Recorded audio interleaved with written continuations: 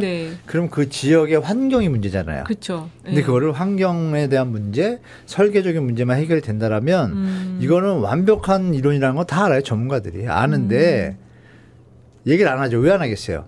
그것이 막 공급이 많이 되면 기존에 재건축 갖고 있는 주인들이 좋아하겠어요.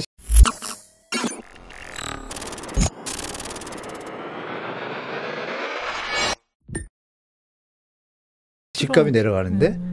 그러니까 이게 이제 상반되는 논리가 있습니다. 그래서 아. 하나만 보면 안 돼요. 그래서 사례를 제가 하나 보여드릴게요. 네. 왜 이게 이론적으로 좋냐? 근데 네. 가시밭길이 많잖아요. 네. 왜 국회도 통과해야 되고 여러 가지 막 법안도 통과해야 되고 그 지역에 대한 특- 아까 특별 공급 이런 것도 다 정해야 되고 해요. 근데 의지만 있으면 할 수 있는 거고 하면 주택가격 안정에 100% 도움이 됩니다. 되는데 음. 사례를 하나 말씀드릴게요. 네. 사례 한번 자료 올려주시겠어요? 좀 올려주시겠어요?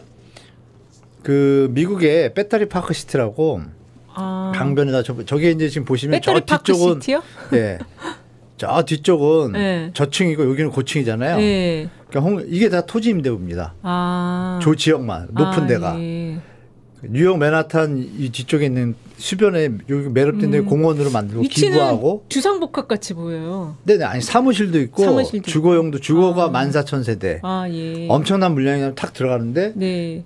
되게 좋은데 처음에 시작 70년도에 시작을 해서 음. 천천히 개발한 거예요. 천천히 주민하고 얘기를 해서 제가 드린 말씀 방식으로 네. 해가지고 저걸 다 지어서 지금 상태 다음 장 보여주겠어요?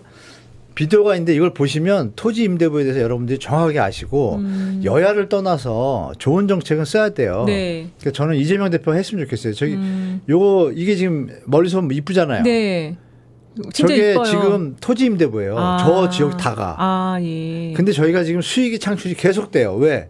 임대료를 받으니까 왜? 저희가 그렇죠. 좋아져 가지고. 네. 자, 그럼 다음 장 보여 주세요. 다음 장에 보면 링크가 있어요. 링크를 눌러서 비디오인데 좀 볼게요. 네. 이거 도움 많이 되실 거예요. 예, 몇 비디오를 좀 분짜리인지 모르겠다. 보겠습니다. 눌러 주시겠어요? 예. 비디오를 눌러주세요. 링크, 링크 클릭 좀 부탁드릴게요. 저 유튜브 링크를 좀 우리 시청자분들한테 눌러주시겠어요? 큰 도움이 될 것 같아서 제가 유튜브인 유튜브네. 그 유튜브인 밑에 링크 유튜브. 주소를 클릭하면 돼요. 링크를 클릭해 주세요.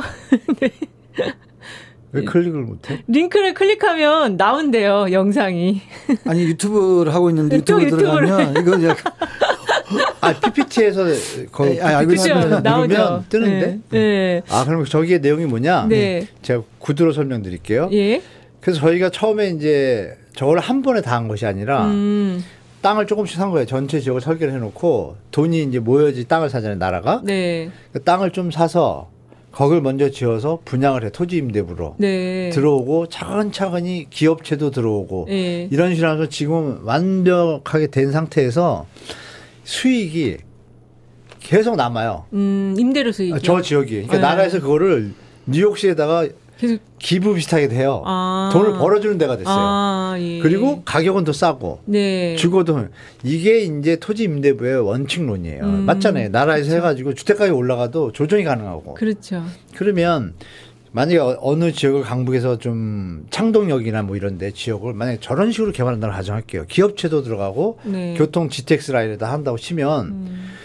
땅값이 지금 정해져 있잖아요. 네. 샀어. 네. 어떻게 빚을. 근데 네. 용적률을 나라에서 관리를 하잖아요. 네. 근데 나라에서 저런 사례처럼 저 싱가포르도 똑같은 데가 많아요. 쫙 올렸어요. 음. 그 지역이 어떻게 되겠어요? 코엑스 있는 지역처럼 발전하겠죠. 그렇죠. 그렇죠. 근데 관리를 누가 해요? 나라가 그럼 임대료를 많이 올려서 돈을 받으면 그게 어디로 가요? 그, 시- 그, 시- 그 시로 가죠. 개인 건설업자한테 안 가잖아요. 그렇죠. 예. 좋은 거예요. 그래서 가격은 음. 저렴하죠. 당연히. 네. 그래서 저기가 용적률이 어떤 빌딩들이 2,000% 3,000% 주고 아. 밑에 또 공원을 만들고 이렇게 교차하면서 평균 한 1,500% 정도 돼요. 오. 테헤란로가 지금 1,500%예요. 그렇죠. 어. 테헤란로 가면 쫙 예, 있잖아요. 예. 그럼 그런 거를 저기 저층 주거지게 한다는데 제가 볼 때 제가 왜 조금 열변을 통하냐면 음. 너무 좋은 정책인데 우리가 네. 그동안 재건축 소유자들, 일가구 이주택 투기자들, 건 토건족들 이런 쪽에 세뇌다 보니까 토지 임대부는 마치 자파처럼 막 음. 폄하를 하는 거예요. 네. 근데 건축하는 사람이나 부동산 사람은 다 알아요. 공부하는 사람들은. 음. 아, 이게 정말 좋은 정책이고 물량이 늘어나는 것인데. 네. 그죠?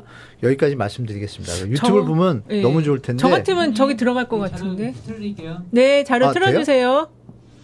제가 한 얘기 배터리 파크 시티에 대한 멋있잖아요. 영상입니다. 예. 시간이 너무 길면 피디님 쭉 넘어가세요. 그냥. 네. 몇 분이에요? 몇 번, 총 몇 번짜리죠, 이게? 이 방송해야 되니까.